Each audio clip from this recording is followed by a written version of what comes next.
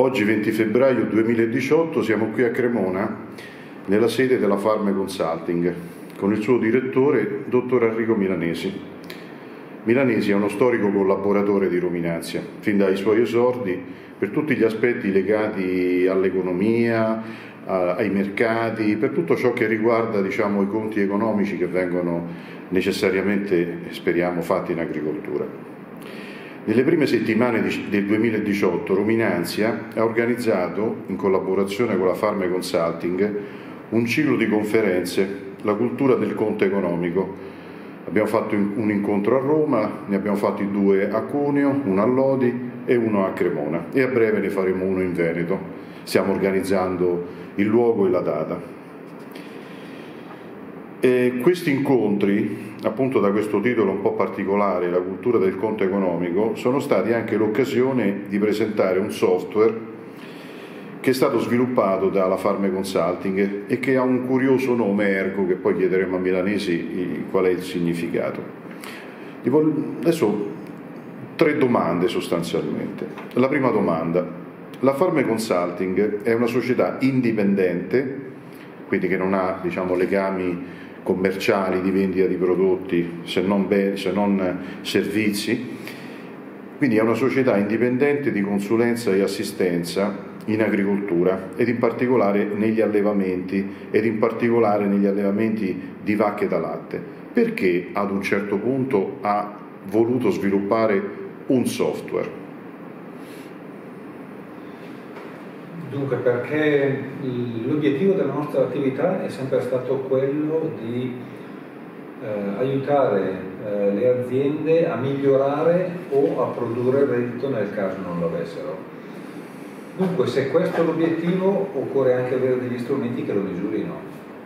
Ehm, per cui non si può eh, avere l'obiettivo eh, di arrivare ad un certo punto e non misurare se a quel punto ci si arriva. Per cui abbiamo sviluppato eh, un'attenzione a mh, strumenti che fossero in grado di misurare il reddito.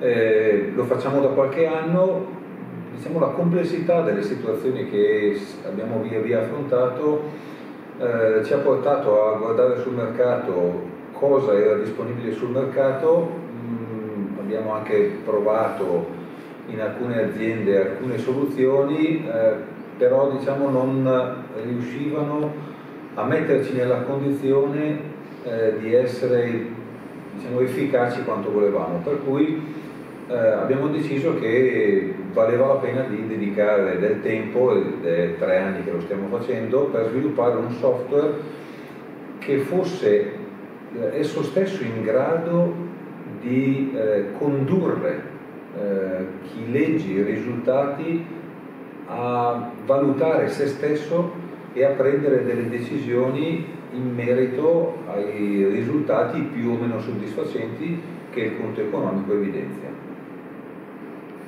Perché si chiama Ergo? È una storia curiosa. Ergo è la traduzione della parola quindi, eh, la traduzione latina della parola quindi, eh, perché sostanzialmente eh, tra di noi quando eh, frequentiamo le aziende eh, c'è sempre qualcuno che dopo un'affermazione di principio, qualcuno di noi, eh, diciamo ormai anche scherzosamente, usa sempre la parola e quindi? E per cui è diventato un po' il motivo conduttore che diciamo un po' scherzosamente eh, che accompagna la nostra attività. Vuol dire che esiste sempre eh, al di là di tutte le affermazioni che si possono fare, esiste sempre un momento del quindi, e cioè esiste sempre un momento nel quale c'è una decisione ulteriore da prendere dopo aver fatto tutte le considerazioni del caso su un problema. Il problema per essere risolto ha bisogno di una decisione e questa decisione è quindi. Anche il conto economico è un quindi, cioè è in un certo qual senso un punto d'arrivo, ma nello stesso momento è un punto di partenza per prendere ulteriori decisioni, per migliorare ulteriormente e sempre, eh, senza, in modo incessante, senza mai fermarsi, l'efficienza e diciamo, la tensione dell'azienda a produrre reddito. Dottor Milanese, abbiamo notato negli incontri che abbiamo fatto insieme di presentazione della cultura del conto economico che lei si è soffermato e ha speso diverso tempo sull'aspetto dello sviluppo del conto economico per rami d'azienda. Questo ci ha molto colpito. Perché questa puntualizzazione? Perché sostanzialmente eh, più noi riusciamo a spacchettare i dati, eh, meglio riusciamo a eh, guardare l'azienda e a definire quali sono i problemi che in quell'azienda è opportuno affrontare. Mm, mi spiego con un esempio di questo tipo. Eh, esistono eh, sensibilità diverse all'interno delle aziende, per esempio in una situazione quella più semplice tra campagna e stalla eh, non possiamo far finta che eh, d'amblè, eh, per definizione, che la stalla e la campagna abbiano gli stessi risultati o condividano gli stessi risultati. Per cui per dare un nome, per risolvere un problema è opportuno dargli un nome. Eh, questo spezzettamento verticale eh, delle aziende eh, in rami d'azienda serve a definire o a localizzare eh, diciamo, l'efficienza dell'azienda in un settore piuttosto che in un altro, in modo da focalizzare maggiormente le attenzioni in un settore piuttosto che in un altro e a questo legare poi delle decisioni. Faccio un esempio. Nel caso in cui eh, la stalla eh, sia un settore particolarmente efficiente, essendo tutte le aziende in una condizione di risorse limitate, non si può investire eh, nel, nel, segmento A, B, C, perché non si può investire contemporaneamente da tutte le parti, bisogna scegliere dove investire e definire qual è la priorità sia negli investimenti, sia nella focalizzazione, sia nel lavoro, sia nell'approfondimento è fondamentale perché serve a definire delle priorità e serve anche a definire dove pensiamo di arrivare rispetto al lavoro che stiamo facendo. Un'ultima domanda.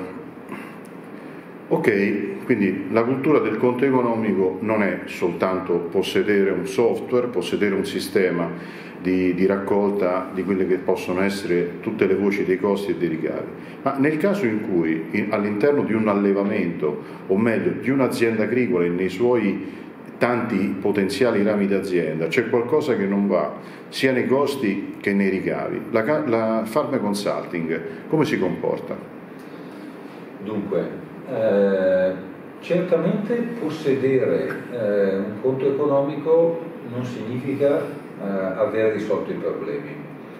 Certamente anche per risolvere i problemi occorre dargli un nome, eh, occorre definirli eh, occorre circoscriverli eh, per poterli affrontare uno alla volta, per cui il conto economico dal mio punto di vista o dal nostro punto di vista per l'esperienza che abbiamo eh, è un elemento fondamentale nella gestione di un'impresa agricola, in verità lo è anche per ogni impresa eh, presente sul mercato a prescindere dal, dal settore economico.